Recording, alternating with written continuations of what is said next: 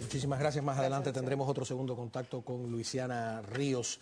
Por cierto, Raúl Castro, como tú decías, llegó hoy a Caracas para asistir al funeral de Hugo Chávez. Su llegada a Venezuela se produce en medio del sorpresivo silencio de Fidel Castro ante la muerte de quien fuera su pupilo y estrecho aliado político. Rolando Nápoles está con nosotros. Gracias. Lo único que se sabe públicamente es que Fidel Castro envió flores a este homenaje en Cuba. Pero hoy les tengo lo que sin querer pareció adivinar Hugo Chávez en el año 2009 sobre su destino y el del propio Fidel Castro. Homenajes, Raúl Castro. Raúl Castro arribó a Venezuela para participar en los funerales de Hugo Chávez. Él llegó esta tarde al aeropuerto de Maiquetía. Ahí lo recibió el canciller venezolano Elias Jawa. Lo más importante es que se fue invicto, se fue eh, invencible.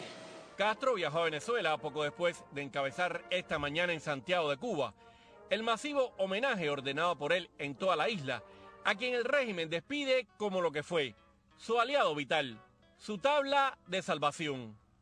Lo más importante ahora es que nuestro pueblo, lo que logramos avanzar con la influencia de él en estos pocos años, no retrocedamos. En la plaza de la Revolución de La Habana, este homenaje lo encabezó el hoy Delfín de Castro, Miguel Díaz Canel, a su lado, el número dos del gobernante Partido Comunista, José Ramón Machado Ventura, y el nuevo titular del Parlamento, Esteban Lazo. No sé, no tengo palabras, no puedo, pero es muy duro para nosotros. Cuba en su segundo día de duelo oficial comenzó bien temprano en la mañana este tributo a Chávez. Algunos cubanos parecen despedirlo como si perdieran a un ser querido, a uno de los suyos. Yo pienso que que fue un gran líder y que nosotros estamos muy orgullosos de, él como revolucionario, como presidente. Pero otros pobladores en la isla lo despiden con preocupación.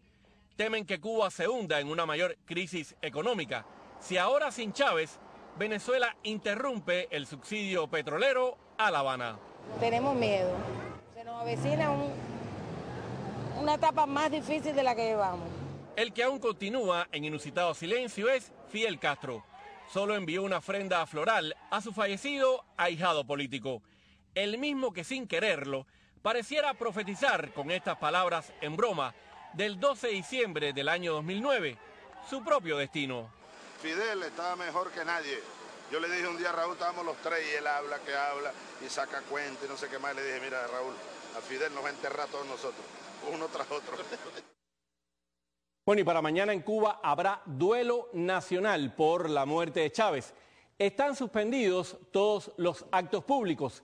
El masivo homenaje que comenzó esta mañana debe terminar cerca de las 8 de la noche de hoy. Yo